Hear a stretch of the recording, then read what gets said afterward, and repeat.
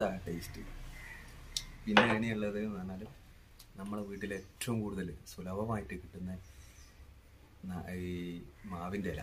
ഏത് മാവാന്ന് പറഞ്ഞാൽ എളോർ മാവിന്റെ ഇലയാണ് ഞാൻ എടുത്തത്. ഏറ്റവും നല്ല എളോർ മാവിന്റെ. പിന്നെ ഏറ്റവും നല്ല ഇല എന്ന് പറഞ്ഞാൽ നമുക്ക് ബ്ലഡിന്റെ അളവ് വിളർച്ചയുള്ള കുട്ടികൾക്കും സ്ത്രീകൾക്കൊക്കെ ഏറ്റവും അനുയോജ്യം എന്ന് പറഞ്ഞാൽ കണ്ണിമാവിന്റെ ഇലയാണ് ഏറ്റവും നല്ല പടുമാവ് എന്നൊക്കെ പറയുന്നത്.